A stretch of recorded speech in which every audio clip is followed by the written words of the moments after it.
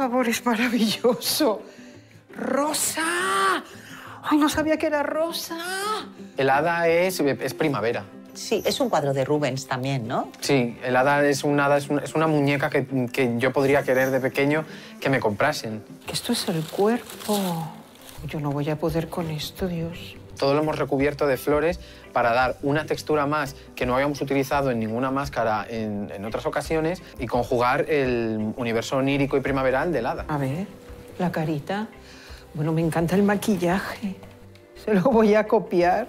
Bueno, es preciosa. Está maquillada como si estuviese una persona maquillada, con strass, con varias sombras, todo en tonos rosas, igual que- los labios. Bueno, bueno, bueno, es ninfa, ninfa, hada. Es todos los seres mágicos. Y encima de rosa, me vuelvo loca. Vamos, me la llevo a la casa rosa y la siento ahí en el salón y ya no me la quita nadie. Es preciosa, es una cara maravillosa, con, una, con un maquillaje fantástico, muy bonito, en rosa, pero que también en al- de alguna manera es de hada, pero a mí también me parece un poco mexicano, entonces también me, me ha gustado, me ha gustado mucho. Es como una, como una mexicana celta, hombre, un poco lo que soy yo, en el fondo, una mexicana europea. Mira, mira, está bien. Dentro de los materiales que hemos usado para, para el hada se encuentran capas y capas y capas de tul y de organza que los fabricantes de, de esta máscara han tratado y han trabajado como el, como el plisado Fortuny, que es muy complicado de conseguir y que lo han, lo han conseguido. Soy el hada de Mask Singer.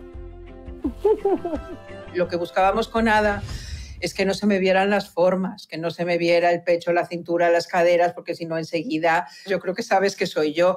Entonces se trataba de hacer algo muy, muy no sé, con muchas cosas para que no, para que no se dibujara la, la figura.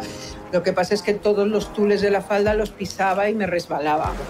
El problema es que yo me piso algo, porque ahora cuando ya termino me piso la falda y entonces me escurre.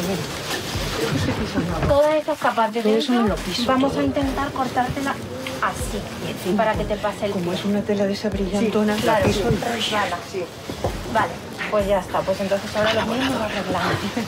Quizá lo peor el, el calor, ¿cómo llevaste eso? Porque también te he visto ahí con que te quitaban la máscara y, y necesitabas siempre un pañuelo. Estás empapado cuando te la quitas.